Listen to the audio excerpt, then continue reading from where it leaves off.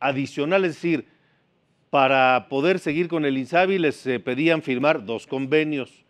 Ya ellos hicieron su propuesta, los gobernadores del PAN, y le agradezco al gobernador de Aguascalientes, Martín Orozco, que nos tome la llamada para explicarnos cuál es la propuesta de ustedes, gobernador. Buen día. Buenos días, Alejandro. Un saludo y muchas gracias. Al contrario, ¿ustedes no les gusta ninguno de los dos convenios que eh, propone el gobierno federal para eh, afiliarse al INSABI, para seguir trabajando con el INSABI? Pero ustedes tienen una propuesta. ¿Cuál es? No, sí, sin duda el de adhesión es el que inmediatamente rechazamos y seguimos en lo mismo porque la verdad es que todo el mundo sabe y le consta que no hay reglas claras para adhesión, ¿no? Y, y porque hay muchos temas que temas presupuestales de bienes, por ejemplo, entregar todos los hospitales, pues no es tan fácil de incorporar eh, bienes del Estado para entregarlos a la Federación, es decir, al Congreso, el tema de nóminas, bueno, la basificación, que es, es, algo muy muy bueno, pero tampoco tienes las reglas claras cómo va a crecer la nómina y cómo vamos a tener las responsabilidades laborales. Entonces, creo que el de adhesión sí tiene que trabajarse muchísimo. El de colaboración, nosotros queremos eh, plantear muy claro el esquema de, primero, no dejar de atender a la sociedad. Eso es prioritario, ¿no? O sea, el tema del servicio tan sensible como es salud, seguimos otorgándolo y vamos a seguir otorgándolo.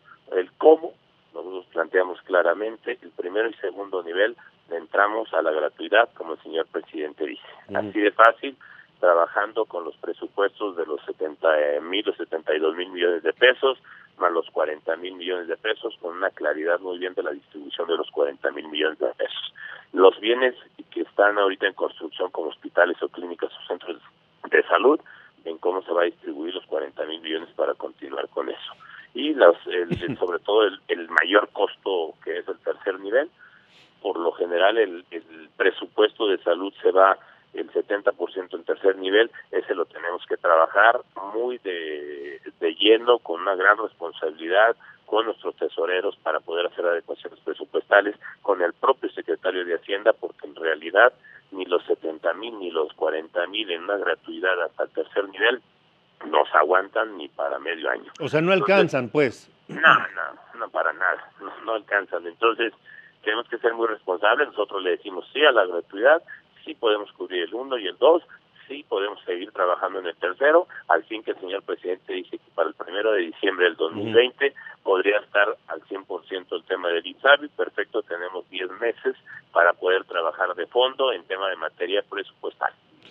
Y esto lo suscriben los nueve gobernadores del partido Acción Nacional. ¿Ya tuvieron respuesta por parte de la Secretaría de Salud o de, o de la propia Presidencia de la República?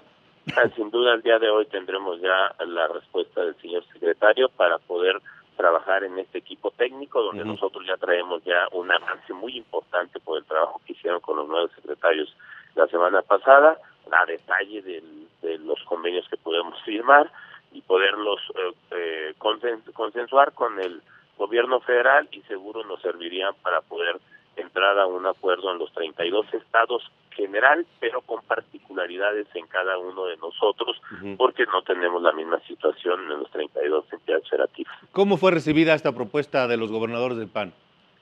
La verdad es que, bueno, so, lo vamos a conocer en los próximos días, uh -huh. hoy, mañana o pasado, que nos den la cita para poder hacer entrega y para poder establecer la mesa, y yo estoy convencido de que el gobierno federal tendrá la voluntad para poder terminar ya con, con este tema que es algo muy, muy importante para la sociedad. De acuerdo. Bueno, gobernador, pues mantengámonos en contacto, ¿no?